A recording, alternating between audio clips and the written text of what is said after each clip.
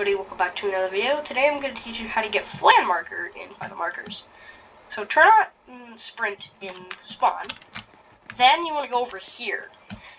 And you want to go over to this corner.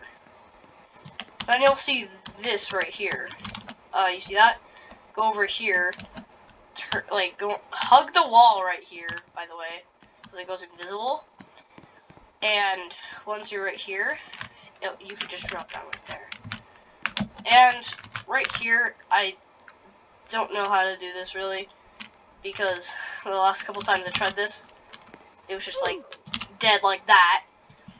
So, um, if you can do that, it's awesome. But I am going to try to complete it so I can show you that this is official. So, what you want to do is go over here and you complete the obby so you can get the flan marker.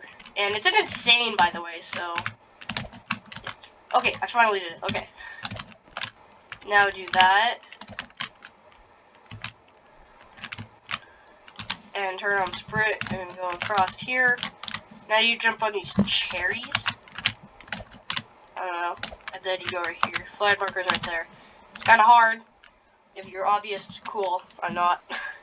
Uh, thank you guys so much for watching. If you enjoyed or just found this helpful, please consider subscribing and liking. Bye!